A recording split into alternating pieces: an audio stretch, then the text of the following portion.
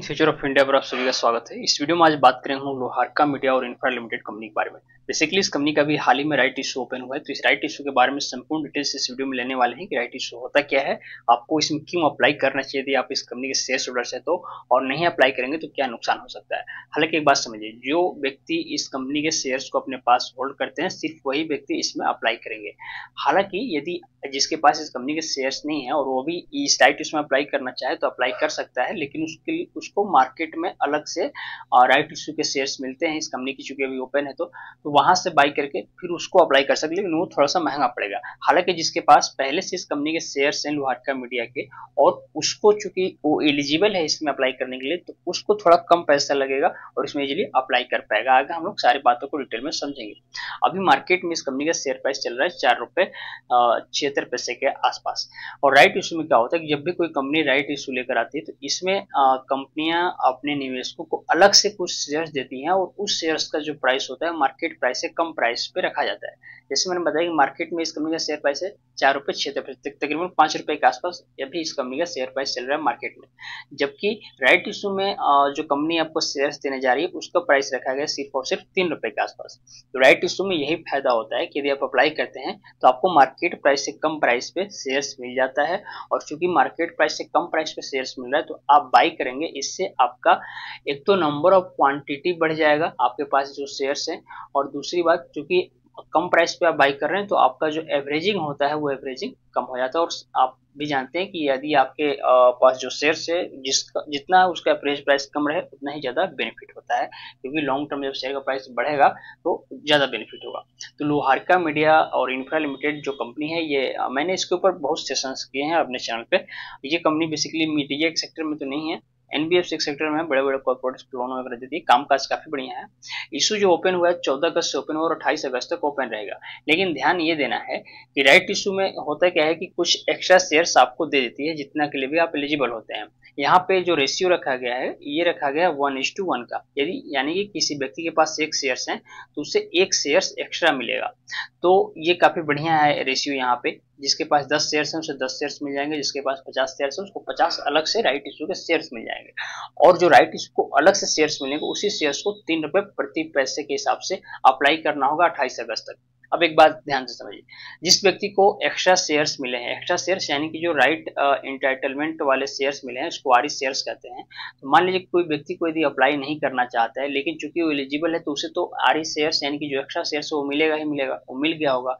अब मान लीजिए यदि आप अप्लाई नहीं करना चाहते तो ये जो आरी शेयर्स है, जो एक्स्ट्रा शेयर्स आपके डिमेट अकाउंट में भी दिख रहे हैं, उसको आप आज बेच दीजिएगा। क्योंकि आज लास्ट डेट है। इसको कहते हैं रिनेंसिएशन ऑफ़ राइट इंटाइटलमेंट्स यदि कोई व्यक्ति राइट इशू में अप्लाई करने के लिए एलिजिबल है और उसको जो एक्स्ट्रा शेयर्स मिला है, यदि उसमें अप्लाई नहीं करना चाहता है तो रिनेंसिएशन ऑफ़ राइट इंटाइटलमेंट्स के डेट तक उसे उस शेयर्स को बेच देना चाहिए।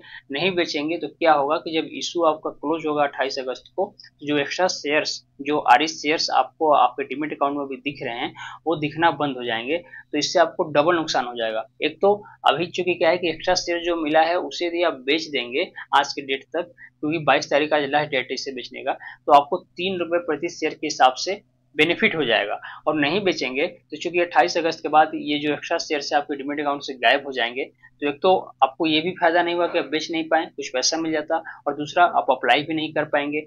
तो इसलिए यदि नहीं अप्लाई करना है तो इसको भेज दीजिएगा। और अप्लाई करना है तो आपके पास अट्ठाईस अगस्त तक का टाइम है, आप इसको अप्लाई कर सकते हैं।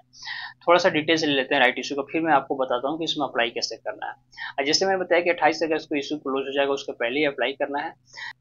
इस राइट इशू के ज़रिए कंपनी जो मार्केट से पैसे उठाने जा रही है, तकरीबन नौ करोड़ सैंतीस लाख बीस हज़ार के करीब रुपए उठाएगी और इसके लिए कंपनी 28 करोड़ के आसपास शेयर्स नए मार्केट में उतार रही है और ये शेयर्स होते क्या है राइट इंटरनल हम प्रोमोटर शेयर्स को बेचते हैं और कुछ नए शेयर्स भी जारी किए जाते हैं इसके लिए। तीन रुपए प्रति शेयर का इसमें भाव रखा गया है, जो एक्स्ट्रा शेयर्स कंपनी अपने निवेशकों को दे रही है। रेशियो बहुत बढ़िया रखा गया है वन इस वन का। सिर्फ़ इसकी बीएससी पर लिस्टिंग होगी और ये लिस्टिंग भी हो जाएगा आपको छह अगस्त को सॉरी छह अगस्त को गलत लिखा है, ये छह सितंबर का डेट होना चाहिए था यहाँ पे। और इसमें सेम आईपीओ जैसे अलॉटमेंट होता है, आप जैसे अप्लाई करेंगे, उसके बाद इसमें ऐसा नहीं है कि ये लॉटरी बेसिस पे निकाला जाता है और किसी को मिलेगा किसी को नहीं जो भी किसी में अप्लाई करेगा, उसको राइट इंटाइटलमेंट के शेयर्स मिलेंगे ही मिलेंगे। इसमें क्या होगा डिमेट अकाउंट में ये शेयर्स तीन सितंबर तक आपके क्रेडिट क्रेडिट तो हो जाएगा पाँच तारीख तक और अलॉटमेंट हो जाएगी तीन सितंबर तक, और उसके बाद छः सितंबर को इसकी लिस्टिंग हो जाएगी। तो इसके लिए एक बात ध्यान देना है कि सिर्फ़ वही व्यक्ति को राइट इंटाइटलमेंट्स के शेयर मिलेंगे जिन व्यक्ति ने 2 अगस्त के पहले इस कंपनी के शेयर्स को बाई किया होगा। 2 अगस्त के बाद जितने लोग बाई किए होंगे, यानी कि रिकॉर्ड डेट के बाद वो एलिजिबल नहीं होंगे इस राइट इशू में अप्लाई करने के लिए। हालाँकि मार्केट में अलग से आर शेयर्स को बाई करके अप्लाई कर सकते हैं, लेकिन उनके डिमेट अकाउंट में जो एक्स्ट्रा शेयर्स जो आर शेयर्स पहले से दिखते हैं, वो नहीं दिख रहे होंगे या नहीं दिखेंगे।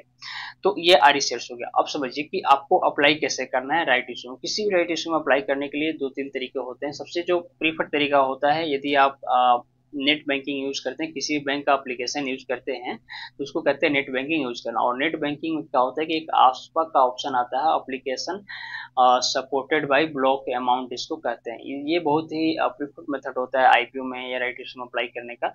आप जब भी नेट बैंकिंग ओपन करेंगे तो इसमें कहीं ना कहीं ये आसपास का ऑप्शन दिख जाएगा। नहीं भी समझ में आए तो अपने बैंक के कस्टमर सपोर्ट पर बात करके इसकी जानकारी ले सकते हैं और इस आसपा में जाके आप राइट में अप्लाई कर सकते हैं।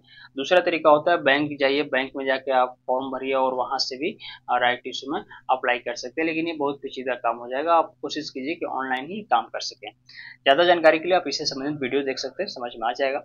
बाकी राइट इश्यू से संबंधित कोई सवाल है, कोई डाउट है तो कमेंट में ज़रूर पूछिएगा, मैं ज़रूर आपको हेल्प करूँगा। बहरहाल, वक्त देने के लिए आपको शुक्रिया। मिलते हैं अगले वीडियो में, तब तक के लिए धन्यवाद।